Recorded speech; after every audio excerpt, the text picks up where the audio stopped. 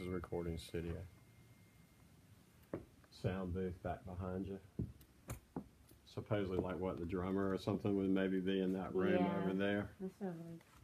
You can just, I mean, it's still just tight space. So, so then your engineer would be behind glass. Several walls of glass. Are super thick, and you know they just sort of made it all themselves. Like Mhm. now, everything would be custom made, but looks like all they did was glue some doors together.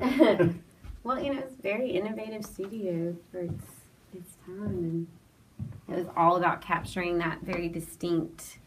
Pretty sure the, cur- the curtains are original. Yes. We're hoping those those stay.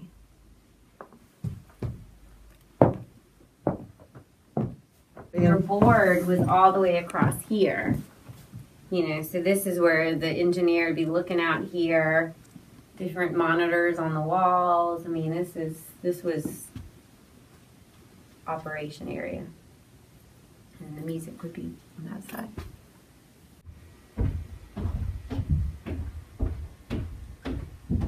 Mean down there, Lord mean. Probably my sister.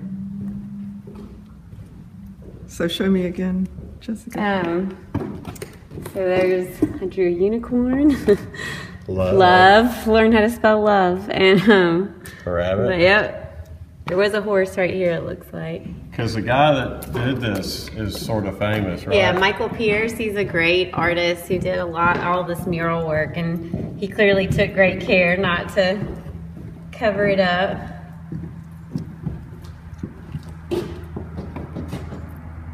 The stage um, that was a little bit further out, and my dad would have bands play here, and um, you know, just for fun, for parties and entertainment. He had his wedding reception here, and he'd have bands rehearse for him on this stage.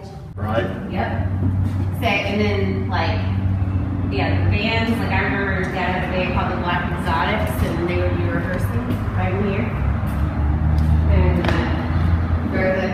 And uh, where the garage door the alley,